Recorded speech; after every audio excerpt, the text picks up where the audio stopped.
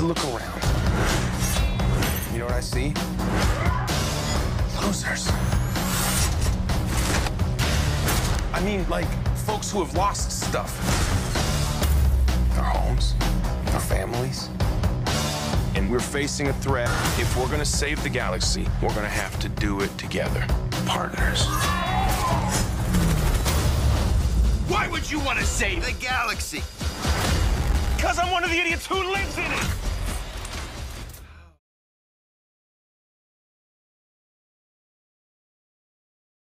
Children,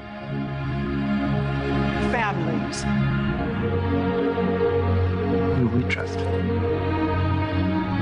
Peter Jason Quill. He's a criminal. Do you believe him? I mean, do you believe that he's here to help? Yeah. They call themselves the Guardians of the Galaxy.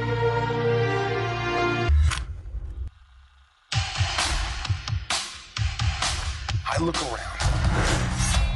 You know what I see? Losers.